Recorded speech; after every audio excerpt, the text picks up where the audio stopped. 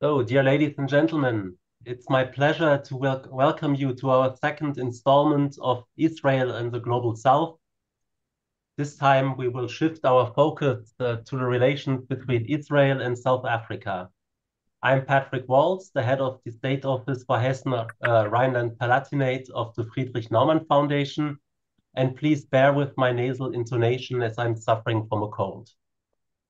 The relations between South Africa and Israel are in a bad state. Even if you are no expert on both countries, reading the newspaper might give you a strong indication as um, the South African Republic had filed a case before the International Court of Justice accusing Israel of genocidal acts. So this is, um, well, quite a severe accusation. And the, what's the story behind this? Why did South Africa do this? What are or how are the relations between both countries? What's the historical explanations and what factors are nowadays most relevant for this strained relationship? I'm really glad I don't have to tell you about this, but uh, we can uh, ask our two experts. Um, we first have uh, Professor Taman, uh, Tamar um, Brandes from the um, Faculty of Law from the Ono College in Tel Aviv. She will focus on the, um, the case um, against um, Israel at the ICJ. Thanks a lot for being with us, Professor uh, Brandes. Hmm. And um, Christine Mhundwa will um, speak to us uh, on the um, South African perspective mainly um, she's the journalist for Deutsche Welle. At the moment, she's in Brussels. And um, thanks a lot, um, Ms. Mhundwa, for um, shedding light on this topic from an African perspective. And um, everything will be held together by my colleague Miklos Romandy. He's um, project coordinator for Sub-Saharan Africa for the Friedrich Naumann Foundation for Freedom. He's in Johannesburg at the moment, and um, he'll guide us through the evening. Miklos, thanks a lot for supporting us um, with you uh, as a host. Thank you very much, very much, Patrick. And um, without further ado, I'll hand over to you and switch off my camera. I wish us um, many insights. If you have questions, please ask them in the F&A using the F&A button at the bottom of the toolbar, and we will try to um, fit them in in the into the discussion or um, take them up at the end of the discussion. So, Miklos, the floor is yours. Thank you very much, Patrick. Uh, it is a big pleasure to to to be able to discuss this. Um, well, I think it is not not a secret, right? South African and Israel relations are a little bit strained ever since South Africa brought forward this court case at the ICJ. So today I would like to actually, before we delve deeper into the subject matter of the court case and its implications, uh, I would like to have a little bit of a chat with you, Christine, first. Um, let's talk a little bit about South Africa and Israel relations, simply because it is actually quite interesting. So when you look back at the history, right, uh, after 1948, after the Second World War, South Africa and Israel used to have quite good relations uh, have used to have quite close relations, and all of this changed then after 1994. So I was wondering, could you give us a little bit of a rundown uh, in terms of history and how these relationships between the two countries have evolved? Yeah, thanks, Miklos, and uh, it's it's really good to be part of this conversation because you know it's such an intriguing story south africa israel relations over the years and you can really maybe perhaps start you've given us a date there 1948 and this is when we officially have uh, an apartheid state uh, in south africa. But if you perhaps consider the fact that south africa was really one of the first countries to recognize uh, a, an independent israel this is of course after that decision by the united nations to grant israel a state. So south africa is a big supporter of that for a number of reasons. Um, there are pro-Zionist um, sort of like leaders uh, within South Africa, but you also have a, a, considerable sort of Jewish community in South Africa. Many of them uh, had come from Eastern uh, Europe and they've settled in South Africa. Many of them affiliate with the sort of uh, Zionist ideology, and so they are strong supporters of the state of Israel. And what we see at the time is these uh, relations are, are, pretty cordial, but then sort of you've got a change in South Africa where it goes to leadership is handed over to the National Party. And by the way, the National Party had had a problem image wise because many of its leaders were actually anti Semites and they had been uh, on the record as, as, as Nazi sympathizers, but they sort of over time uh, wash off that image. They embrace uh, the Jewish community in South Africa, so to say, and they become very strong supporters of the state of Israel. But it gets awkward at a point because this association with South Africa for the Israelis is a bit of a problem because of the image, right? Um, certain Israeli leaders on record as as being embarrassed by the affiliation, and and in the 1950s and 60s, we actually see that Israel is very vocal against the apartheid regime. It's difficult, and and and Israel is actually at that time uh, trying to to to make inroads on the African continent, right? Um, and and that stops working at a point because what the oil rich Gulf states do is they get involved and they start pressuring African countries not to affiliate with Israel, right? And they threaten, you know, the classic, you know, will cut the economic ties. And so a lot of African countries start veering away uh, from Israel. And at that point, um, Israel is sort of like losing ground uh, on the African continent. It also sort of coincides with the time where the African liberation movements are strengthening. Uh, and all over the continent, you've got these strong uh, liberation movements um, fighting for independence. And so South Africa becomes increasingly isolated. And then we start seeing relations between Israel and South Africa strengthening, and we start hearing about this cooperation. Now we're talking about the 1970s, etc.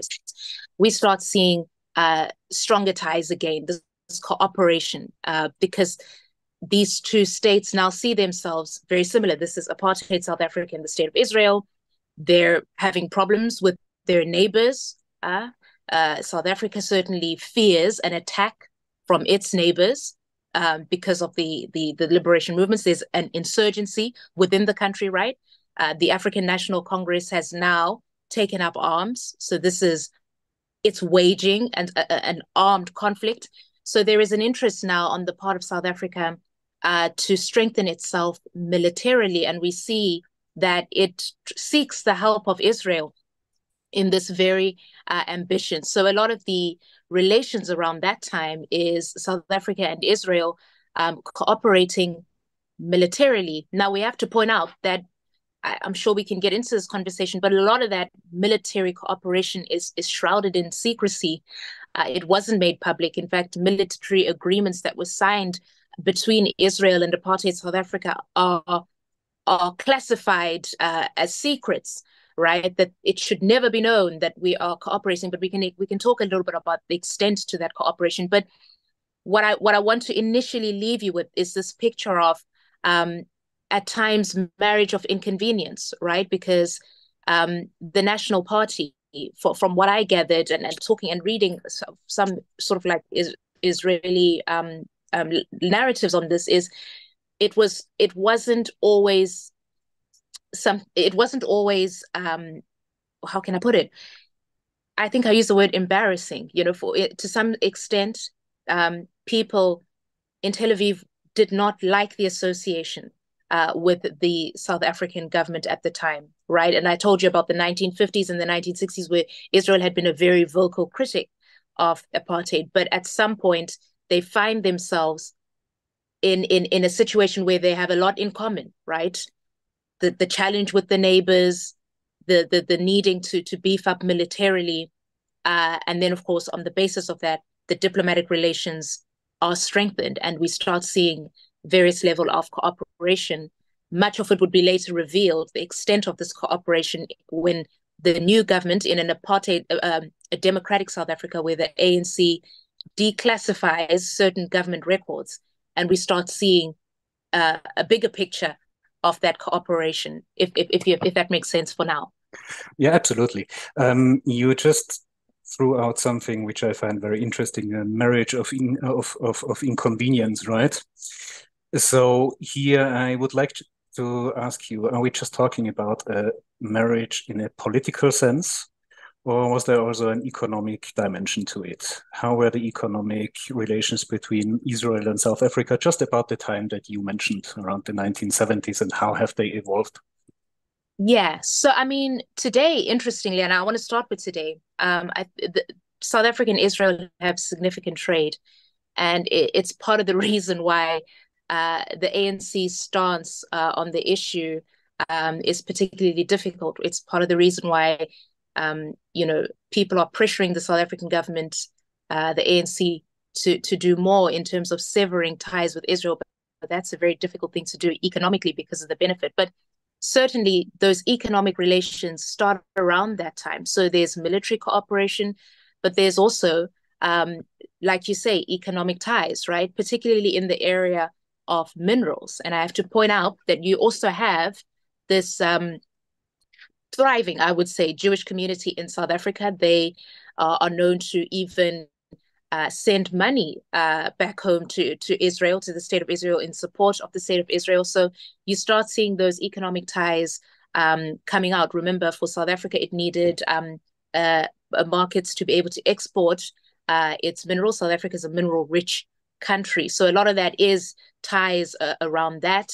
Um, of course, the military aspect, as we say, there's secrecy around that, but we certainly see that there are growing, uh, uh, deepening uh, economic ties between South Africa and Israel. That all is forced to a halt when the Americans in 1986, I believe it is, pressure Tel Aviv to take to adopt sanctions uh, on on South Africa. So certainly uh, deepening ties, and of course, as I say, the pressure for Israel to then take sanctions on uh, South Africa comes from Washington, who effectively doesn't give Israel a choice in the matter. But before that, they establish uh, good uh, sort of um, export uh, relationships, trade relationships, where we see the back and forth of goods um, uh, between the two countries. You mentioned sanctions. So, of course, we are talking about a time when South Africa actually, on an international level, had precious little um, allies, right? So Israel was one of the few of them. So the introduction of sanctions and also Israel carrying this sanction regime against South Africa, what uh, what what did it change in terms of, of of the economy in South Africa? How did South Africa actually cope? Yeah. Well, we start to see that that's the beginning of the end, right? Because those sanctions are incredibly effective. Um, and that is basically what brings apartheid down, not just Israel's sanctions in particular, but all the sanctions, because it becomes unsustainable uh, from a financial perspective and economic perspective to continue. And that forces the National Party uh, to, to go into talks. And, and we see the end of apartheid. So economic sanctions were really effective. And now, if you can imagine, that you can't trade with your neighbors, right, in the African continent. Um, international Western allies have have abandoned you at this stage, and now um, you know your your one ally, or not your one, but certainly a significant ally, can no longer trade with you and has had to impose sanctions. So that really you start to see because we're talking about 1986, um, and then already by early 1990s, it's clear that this is is is no longer sustainable, and we have uh, new leaders um, who come in and we basically say, right, we are now preparing for what is the transition because we can no longer sustain what we're doing. So it is uh, significant.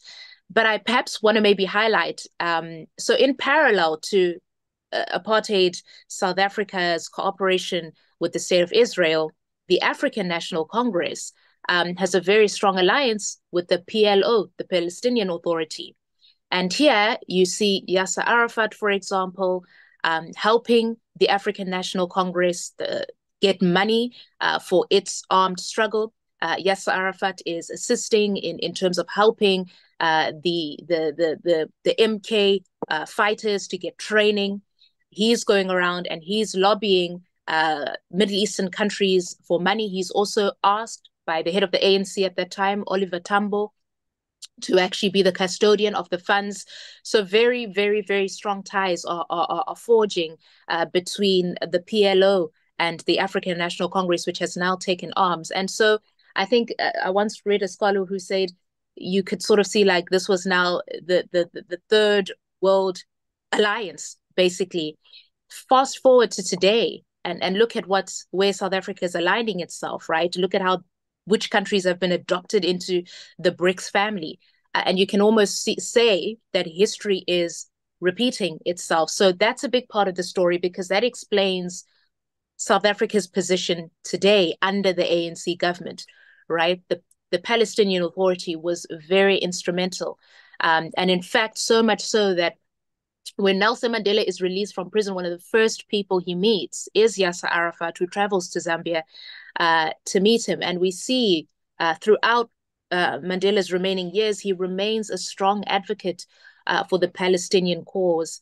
Um, and that is a, an official ANC position. That explains the vote in Parliament last November, where the Parliament says we vote uh, in favor of severing ties with Israel uh, until such time as there is a ceasefire in the conflict. Of course, that's not been acted upon, and we'll get into that conversation. But I just want you to understand that the Palestinian Authority, specifically the Fatah faction, headed up by Yasser Arafat, was so um, important a supporter for the African National Congress in its fight um, against uh, the system of apartheid. It had now taken up arms and it needed the resources to be able to execute that operation. What you mentioned before is very interesting. So you mentioned that the ANC had personal relationships. Mandela with Yasser Arafat, there were others.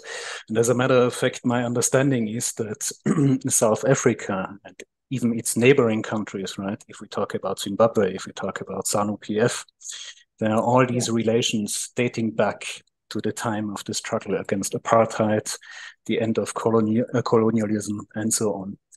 So how is it these days? Because most of the, the generation, right, that actually lived through the struggle against apartheid uh, for freedom, they are vanishing, they are dying out. Yeah.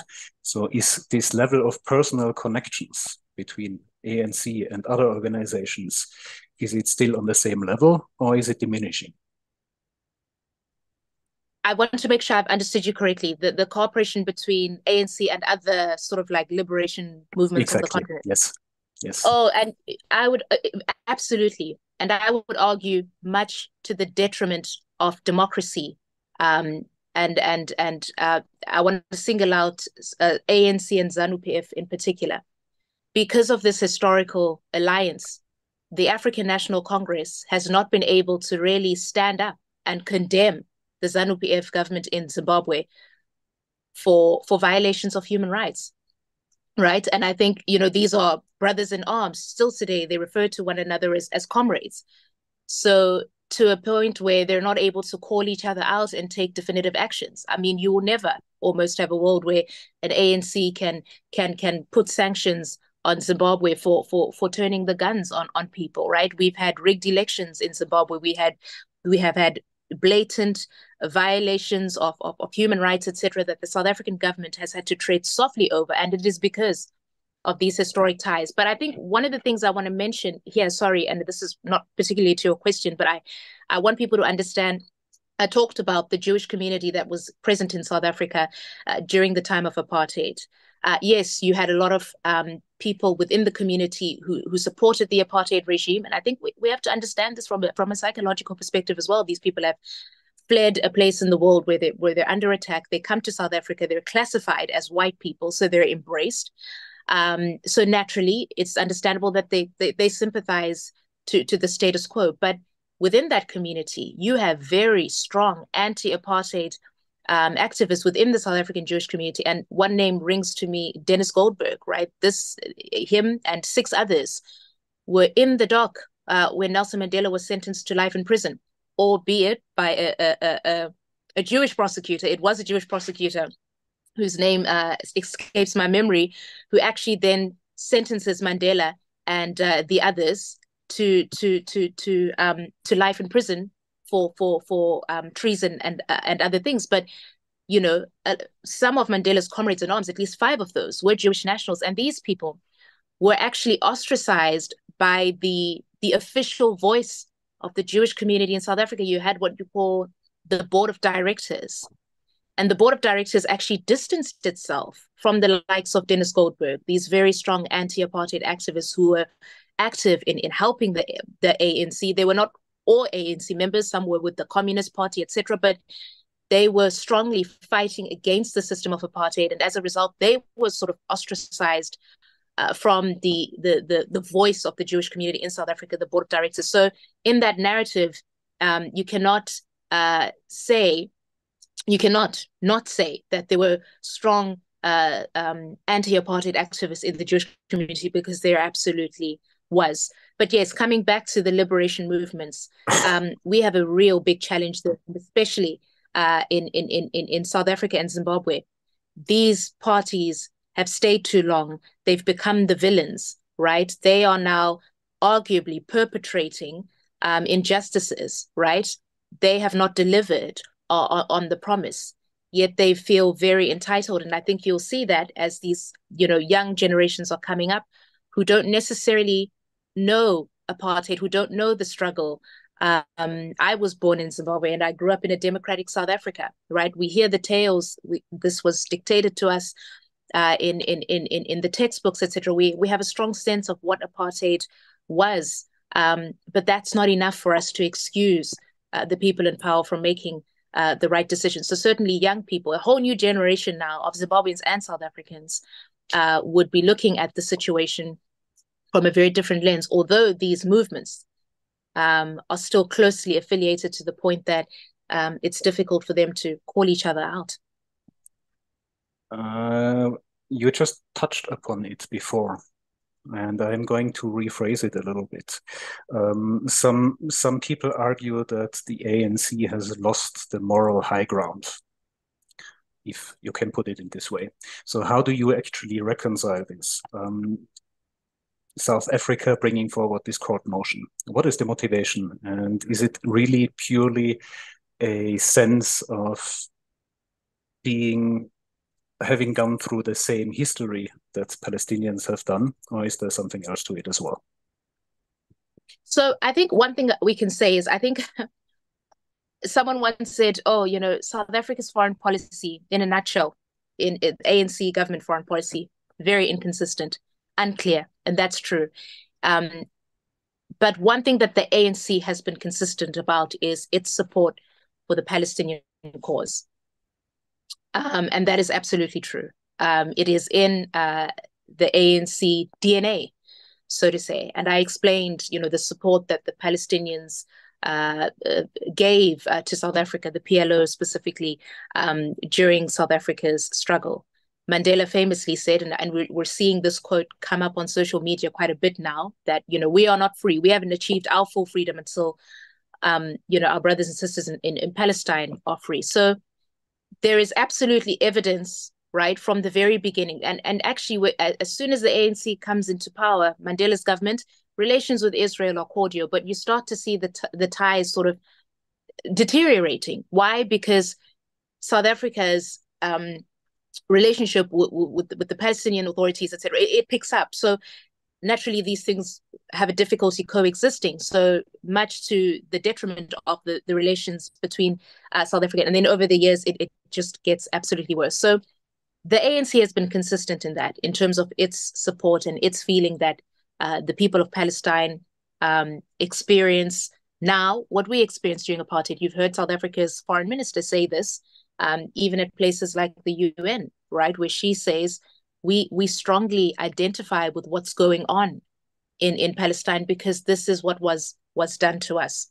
So there is there is that aspect uh, to it, and I'll actually have you know that some people, people who are massively pro-Palestinian, think that the ANC isn't doing enough. Right? For example, um, the South African Parliament that uh, took a decision last November uh, to cut ties uh, with Israel, to, to sever ties, to effectively close the Israeli embassy.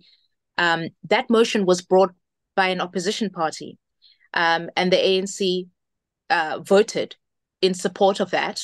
Um, it had a, a, huge majority, I think 250 votes to, to like 90 votes, a huge majority. I mean, the ANC then, of course, added that sentence to say until such time as there is a ceasefire. But that hasn't happened, right? That, that because that decision ultimately gets carried out by the president who hasn't done it. And you have people in the pro-Palestinian movement in South Africa today, which is a very strong movement, by the way, saying to the president, "You're not doing enough on this. You're not taking a tougher stance." I mean, there are South Africans absolutely calling for a complete severing of ties. Never mind just around the war. Remember, in 2022, right, South Africa already, via the foreign ministry, declared Israel to be an apartheid state and asked the UN General Assembly to look into the merits of that. So it's interesting because the ANC is finding itself in this place where it it's it in itself has become more right wing. It, it, it's leaning more to the right now. So the ANC and it's having to balance economic interests uh, with, of course, this one could call it this this moral uh, uh, obligation that that some people certainly within the organization feels it has. So this is the challenge that the ANC has, where you have people in the groups calling for, you know, the the, the BDS um, measures, right? The boycotting, the divestment, the sanctions, and the president's not done that, and there's no indication that he will because of what's at stake from an economic perspective. If if that sort of answers your question. Absolutely. Um, there are just a couple of things I would really like to touch upon rather briefly. Um, so we have talked uh, we have talked about the whole international perspective, right? We, uh, political relationship between Israel and, and South Africa, but I would also like to talk just a little bit about the society. So the South mm. African population supports South Africa's motion at the ICJ, right? So if I if I may just ask really, you know, in a in a provocative fashion, are South Africans anti-Israel? Well, are South Africa, and I think anti-Israel. Mm, maybe that's a bit of a stretch. I, let's let's say for sure pro-Palestinian, and it's worth always reminding ourselves about the demographics in South Africa, where north of 70% of the population are Black South Africans, right?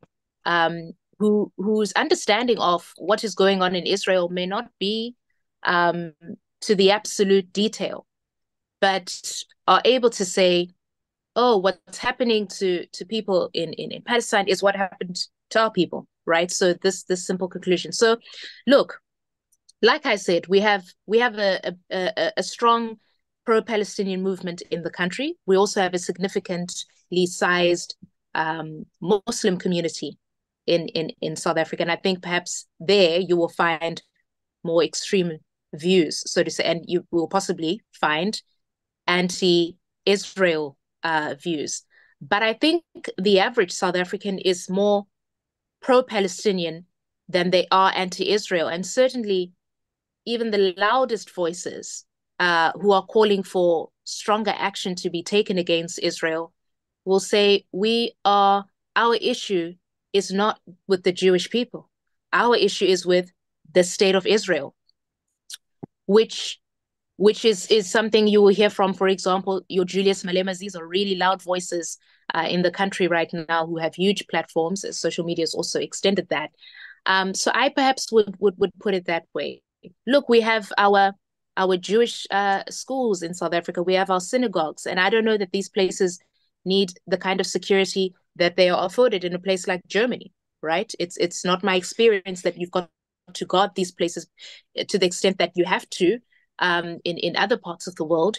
Um, I I don't in my reporting years I I never had to do a story about anti-Semitic attacks um, in, in South Africa. So that propels me to say that the issue necessarily um, is not, um, you know, sort of we're anti-Israel, but certainly we're pro-Palestinian.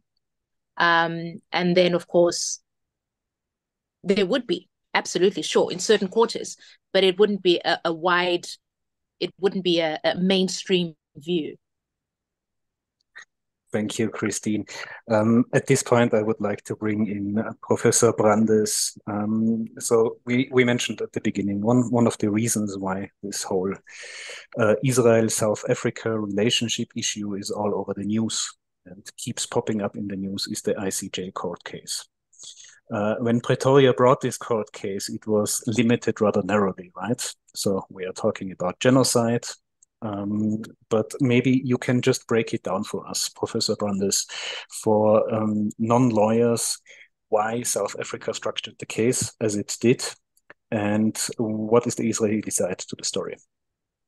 Good, thank you. Um, so actually, it was fascinating uh, listening to Christine, and I want to actually um, connect before I start talking about uh, about the ICJ uh, case um, and to what what was said before, and kind of highlight the differences because when we talk about a legal case, you know, then we talk about the legal claim and whether the legal requirements are fulfilled or not fulfilled, and we talk about you know questions that may sound boring, like whether there's jurisdiction and whether there's intent and what you need to prove. And this is what the legal case is about. Um, but I think that actually at the background of this is a much larger issue um, which we also see in response to the case, but in South in the case of Israel, South Africa, it actually, I mean, actually preceded the case, right? We were talking about 2022, about 2021, about issues that came up long before the question of whether what Israel was doing in Gaza today, you know, amounted to violation of international law, and if so, which types of violation of international law. And I think that part of the problem from my perspective is the framing of the Israeli-Palestinian conflict in terms of settler colonialism or in terms of um, apartheid, whereas it doesn't fit nicely into those categories. Okay, there are a lot of issues, but I think part of the difficulty is to say, well, we have this framework of thought, which is very dominant now, also in universities, also in American universities, which we see everything through the prism of colonialism. So either you know you're oppressor or you're an oppressed. Either you're a you know, you're colonizer or you're colonized. Well, I don't think the Israeli-Palestinian conflict, which has a lot of issues um, in it, fits nicely into this framework. Some parts of it may, but not, but not, but in generally, it doesn't. It's much, much more complex than that. And that also ties back, you know, to the point where you say, okay, you know, there are a lot, a lot of South Africans are generally pro-Palestinians, but my question would be, well, are pro-Palestinians pro-Hamas? Is it the same thing? Like when we say pro Palestinians, does that equate pro Hamas? Because that's a completely, you know, that, that that's arguably a different thing, you know, to say whether you're pro Palestinian or pro Hamas. So I think that's something to touch on. Now, in terms of the ICJ case, from Israel's perspective, this is not about the relationship between South Africa and Israel. Of course, it's in the background. But when South Africa brings the genocide case to the ICJ, it's not invoking the rights of South Africans. It's not invoking the its own rights. It's invoking the case in the name of you know the ent- entire world. Like the doctrine that allows South Africa to bring the case to the ICJ is because when we're talking about crimes like genocides or acts like genocide, from the legal doctrine, any country could have brought this case to the court. And the court, in order for the court to even, you know, have jurisdiction over the case, there needs to be an anchor. Now, the anchor for the court's jurisdiction in this case is the Genocide Convention. Now, the Genocide Convention is a convention of both Israel and South Africa are parties to.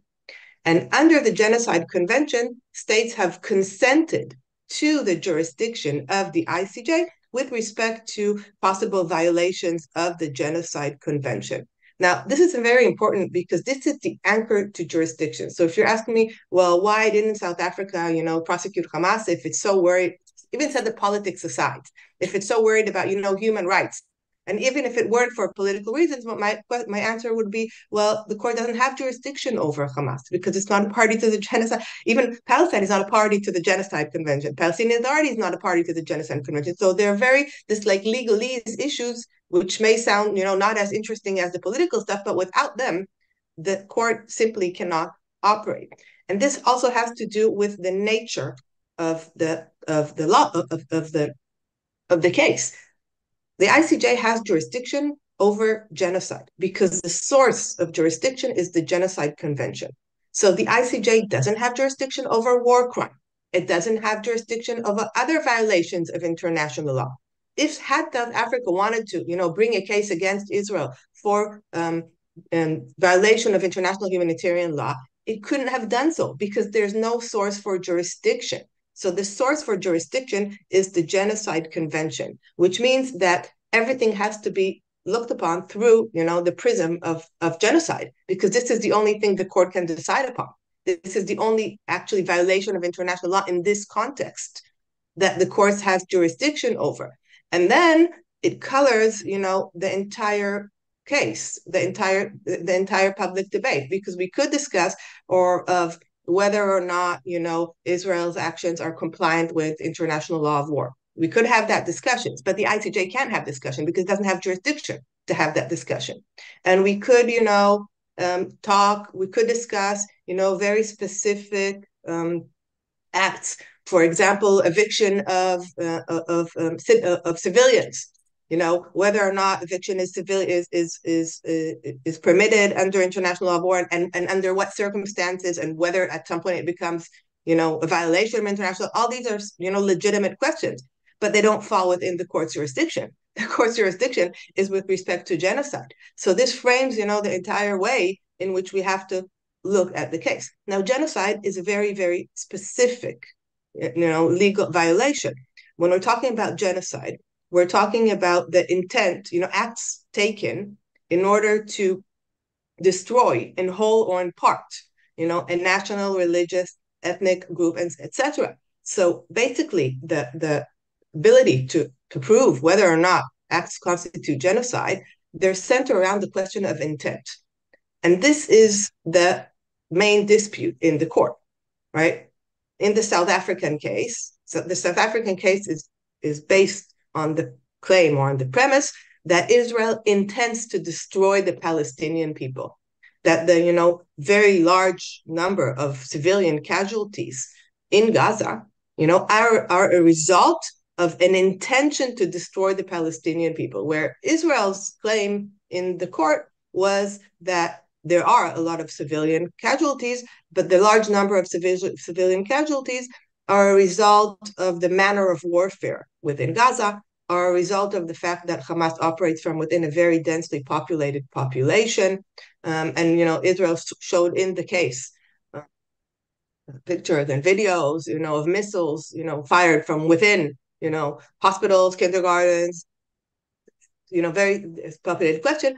But that's, you know, the kind of legal question that I think gets lost in the larger political, you know, debate on who's the villain, who's good, who's good and who's evil here, right? Who's who's the villain? And I think the legal um, discourse is very different in this respect from um, the political discourse, and even just from the interest of you know most people, because people look and say, well, you know, a lot of innocent people are killed, so we don't really care what what, what happened before. What we want to stop this, um, which I think is a very natural and understandable response. But from a legal perspective, it does matter whether you know this is an intended intended policy or whether this is something else. And by the way, that something else could be a violation of international law. I don't have enough information to be able to tell you this seriously as an international lawyer. You know, as an international lawyer, if you ask me, well, if this attack legal, I would have to tell you, I need to see, you know, what was the target, you know, what were the calculated, what was the information. I can't just offhand say whether it was or whether it wasn't legal based on the number of people that,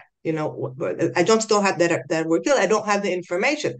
But this is very different, you know, from the debate that we are having um, at the background of, of, of this entire case. And I think, for example, that a lot of people are unaware of the fact that this case is about genocide because the ICJ only has jurisdiction over genocide. And this is why we're not talking about other possible issue violations of international law that may be relevant here, maybe more relevant here, you know, than the violation of genocide. And of course, genocide has, and you have to say that this, you know, the moral stain that um, is very much tied to the Jewish history, to the Holocaust, to this narrative of, you know, victims of genocide and, you know, now being accused of genocide. So obviously, you know, this is not a legal issue, but you can't detach it. You know, if we're talking about a historical narrative um, from from the bigger story in which, you know, Israel is accused of um, of genocide and how that accusation is perceived here. I mean, uh, thank you. Uh, there is one thing actually for the benefit of our viewers that I would like to discuss with you. Um, we had a talk about this a couple of days ago, right? And you made the argument, you told me that for you as a lawyer, for humanitarian lawyers, the court case of South Africa was actually counterproductive. Can you tell us again why?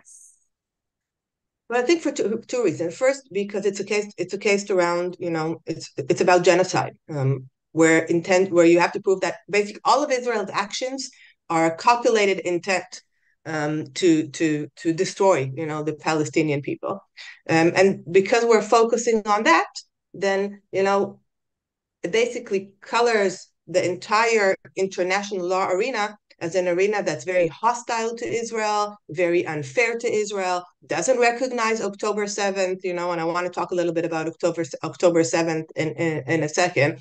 And, and then when you try, you know, to, to even within Israel, to bring in critical voices that talk about, you know, the duty of Israel to uh, to to to supply humanitarian aid into Gaza, um, or when you talk about, you know, within Israel about compliance with IHL and what Israel has to do, then it's very easy to kind of put it all aside as well.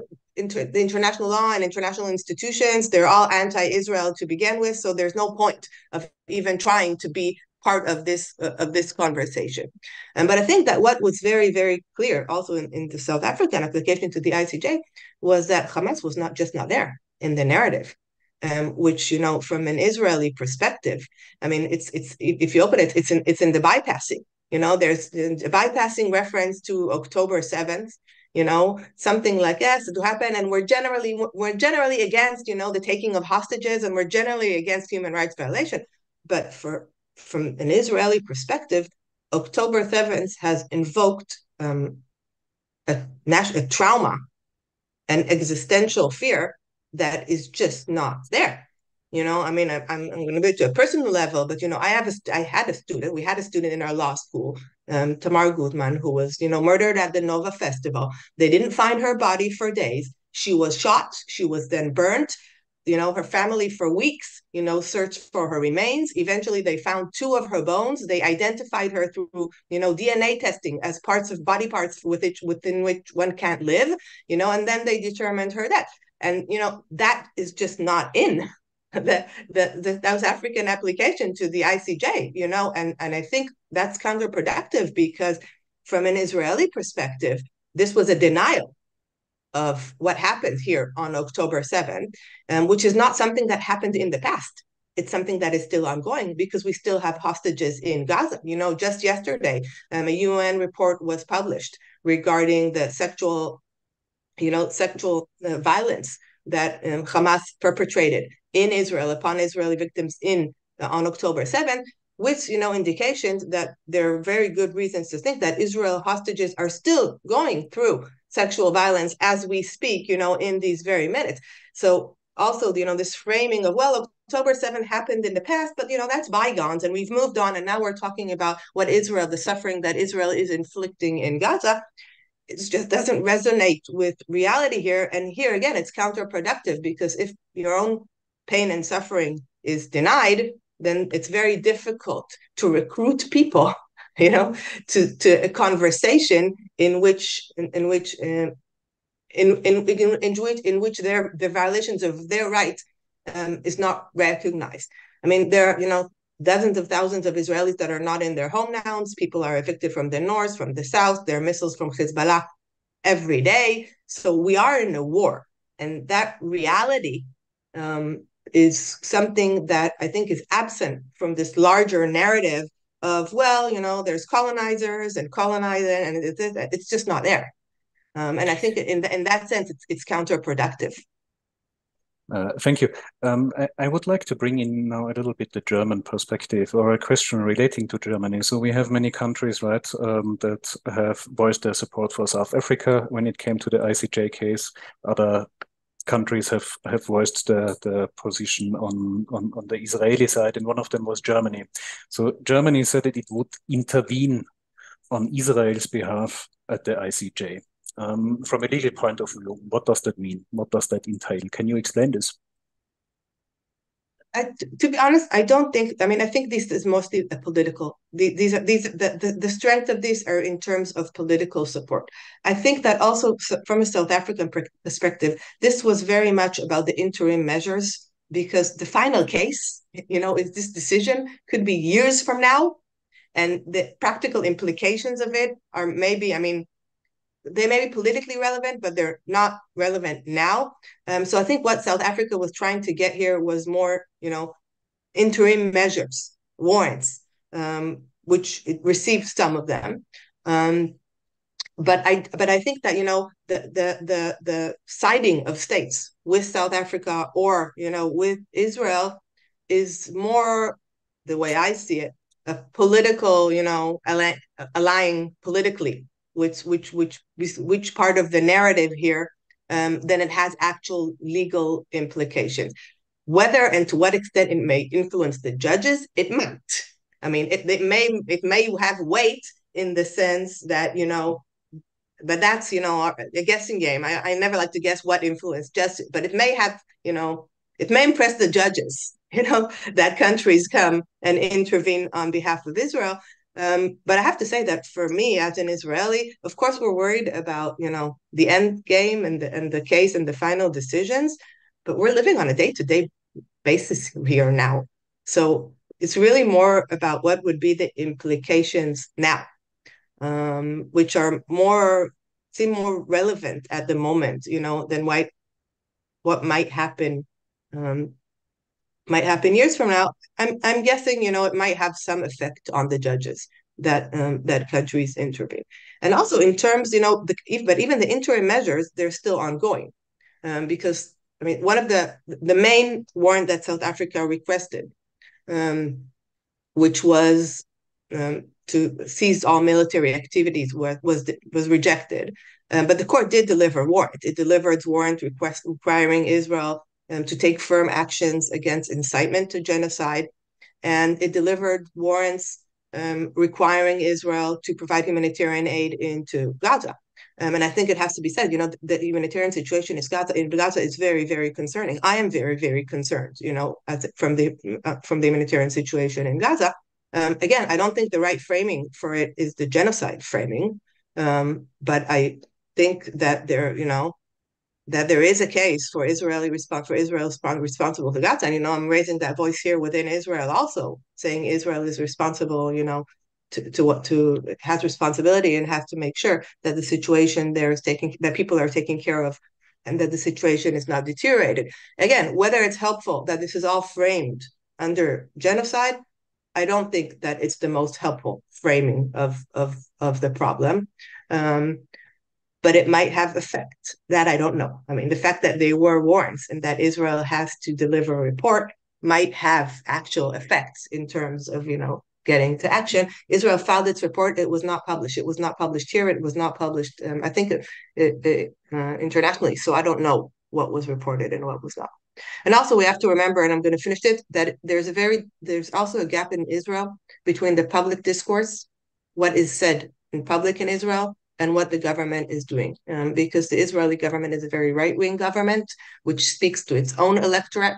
So, you know, we've already had in Israel, you know, incidents where, you know, we had ministers saying, oh, we will not open the water to Gaza, and then found out that the military has opened water. We will not let aid in. And then the military it was found out that aid was let in. So if you ask me from a factual perspective, how much I know of what is actually going on, it's very, very difficult for me to tell you what I think actually is going on. Of course, I'm very concerned. I think everyone who cares about human rights should be very concerned. Situation is not good. Thank you, Professor Brandes. At this point, um, I would like to bring Christine in again. Uh, the, the ICJ case, how has it affected the relationships between uh, South Africa and Israel? Has it become much worse or is it just continually at the same level? And uh, with a look at the time, so I would like to encourage our viewers also to ask us questions. We have received a few questions, and with my question, Christine, to you, I am going to, uh, well, bring forward the question from an anonymous attendee which is slightly provocative. Doesn't South Africa have its own problems? Why is it taking up a position against Israel together with on, on, on behalf of, of Palestine, uh, Palestinians?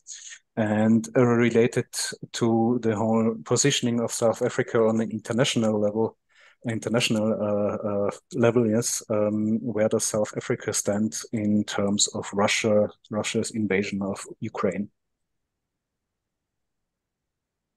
Okay, thanks, Miklos. I'll try and put that all together. Um, uh, and thanks so much, uh, Prof. Uh, Tamar. I think that was really in sort of just making us understand. I know I, I'm dressed the part of what would look like a legal representative, but I I have a lot to learn myself. I'm by no means an expert on that, but but thank you so much. Um, yeah, so the the tri- the ties um, I would say have strained over the years, um, and that's perhaps also due to the the constellation of uh, the the government in Israel, which is incredibly right wing uh, at this time. Um, I know that the South African president has has engaged uh, the heads of uh, sort of like the the Jewish groups, and he's made it clear that you know he will continue to advocate for for the Palestinian cause. And and just to address the question coming in from one of our audience members there, I think you you you really have to understand that you know we have this rift between the global north and the global south right now, and you have the feeling um, among people in, in in in the global south. It's I don't like the term global south, but I think you know which part of the world I'm talking about. Um, that we we don't ha- that it's not an equal. Uh, we're not on the equal footing. That it's not a level playing field. That we continue to receive unfair treatment on a number of issues, and so the global south is really um, um, um, acting out at this point. And you saw it with the issue, uh, I don't want to call it an issue, but the war with Russia and Ukraine and how uh, many countries in the global south refused to join Western countries in, in, in taking part in the sanctions against Russia.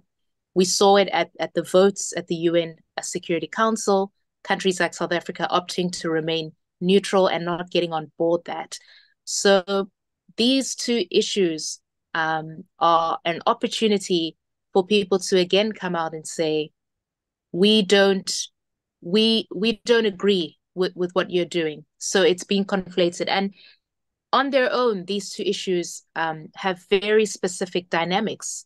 But what they've done is really just open up this conversation again about how we're not all equal, right? And so people look at what's going on in Gaza and are able to almost I don't I, don't want to to to say what people are doing. I, please don't misunderstand me, but the reason why October 7 um, for a lot of people goes like this, and I'm trying to say it, it flashes by, is because people are now equating what is happening in Gaza now to to what people feel has been decades of treatment towards people of the global south. So we we are in a in a in a time where we really need leadership. Um, we absolutely need leadership, and it's interesting because the African National Congress, the ANC, has thought of itself as as wanting to be a mediator between the Palestinian people and the in the and the is, is Israeli government. I mean, it supports the idea of a two state solution, and at some point, it saw itself um, well positioned to be able to stand as, as mediator for that. Today, I'm not sure that that that can happen. Uh, for a number of reasons because of the ICJ case and, and, and what that now means in terms of how, how the state of Israel views South Africa. But we are in a very difficult moment. And that again brings the question of what is really the motivation on the part of the African National Congress. And that is being questioned within the country as well, right? Uh, I've heard people say, where does the money come from for South Africa to be able to to to to to um to to even um have this case uh, at the at the ICJ. But I think what people need to understand is is this is now we're in, we're competing for narratives. It's about alliances, and there's a geopolitical factor to element to all of this, which cannot be ignored. The global South uh, perhaps is is is trying to signal something to to to Western powers, and these conflicts um, are, are are are are providing sort of an opportunity for the global south to to to say what it wants to say. But of course that comes to the casualty of what's really going on here and what needs to be salvaged. And all i can say is leadership is is absolutely needed at this time uh, to to bring the communities uh, together, so to say. Apologies, unmuting. You just briefly touched upon it. Um, there's another question that I would like to bring forward. Bettina Schmidt from Stuttgart asks, how is the relation between Iran and ANC at the present at present? And is this also affecting the case?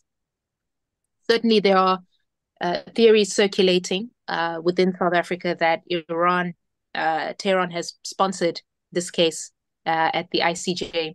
You will know that uh, Iran applied to join the BRICS alliance. This is that alliance with Brazil, Russia, India, China, and South Africa.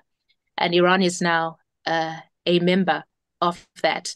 One of the other things that the ANC has has long made its sort of um, what can I say, um, part of its policy is it it wants to break down the system of of Western dominance, uh, this global system of Western dominance. Hence, wanting to be part of the BRICS alliance, um, and hence, you know, uh, furthering ties with with Russia and uh, and China. We've seen th- these countries hold joint military drills, for example. One of them, very unfortunately, on the occasion of the first anniversary of the war in Ukraine. So. One of the other problems was how the pandemic was handled. A very recent example of how the Western world missed in terms of how it it, it handled the pandemic, right? The, vaccine hoarding, uh, the refusal to to give the, the patents, all of these issues again propagated this narrative that when it comes down to it, we're on our own, that all this talk of partnership is empty talk. I heard African leaders say, you know, the Europeans cut all communication in the pandemic. They wouldn't even hold virtual summits with African leaders, right? So all of these things are now piling up. Uh, you heard the Indian foreign minister say, you know, when it's our problem, it's our problem. but when it's the West problem, it's a global problem. So you now have a challenge where uh, there is this push uh, for, for, and I'm repeating myself here because this is really at the core of things. And this is then much to the detriment of people losing maybe sight and sympathy of what happened on October 7, losing sight and sympathy of what's happening to Ukrainians, because this is more of a backlash uh, against the West, which you know admittedly has made huge mistakes. So to the question about Tehran, we know that there are growing ties um, between uh, between South Africa and and and Iran, right? Iran grow coming into to into the BRICS fold, but again, just this narrative against it about it being us against them, and in the absence of, of leadership and genuine diplomatic um, engagement, at an eye level, um, this is these these alliances will be further entrenched. I fear. Would there be any way? And I am just bringing in a follow up question. Mm-hmm. Uh, what can the West do actually to understand the global south better and to strengthen relationships so that we are not drifting into in, in, uh, an era where which which is you know just a matter of polarization between the global north and the global south yeah, I mean it's it's ignoring the issues. I mean, for example, this this better engagement, right? I mean, we're, we're talking of um, the war in Gaza today. We're talking about the war in Ukraine, um, and and the Europeans are waking out of this um, this this this peaceful period, right? Where where people are, oh, war is back in Europe, um, but on the African continent, wars never stopped, right? The guns haven't fallen silent uh, on the African continent, and so there is this element of why are we being ignored? I mean, you look at, uh, for example, the issue around um, the, the, the, the, the, the, ordering of the world order, the representation. Yes, we now have Africa in the, the, the G20, um, but that took a very long time, right? So where is the African voice? We're not being listened to, we're not being heard, right? And, and there's evidence of that in a number of um, international structures, the, the, the functioning of the uh, the way the IMF and the World Bank are, are configured, for example, the rates at which African countries borrow on the credit markets, all of these things, these issues are now compounding. And in the event where you have these global crises and Africans find themselves and people in the global south find themselves lacking and, and basic resources, this becomes a challenge. So leadership is needed right now and genuine engagement where the Western world really says we want partnership at an equal level and we want to listen to you and we'll act on what you're saying so that we can make this world prosperous for us all. So I know we're running out of time. Thank you very much. Yes, I am afraid that we have to leave it at that. So I would like to thank you both, Professor Brandes, Christine Mhundwa, very, very much for your insights. Also, big thanks from, from us to the Hessen State Office of the Friedrich Naumann Foundation for organizing this event. And to all our participants, I hope you enjoyed the session and we wish you a very, very nice evening. Goodbye. Thanks, everybody. Bye. Thank you very much. Goodbye.